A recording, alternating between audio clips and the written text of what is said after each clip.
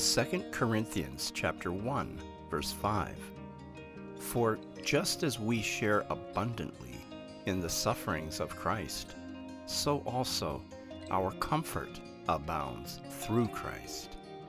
2 Corinthians chapter 1 verse 5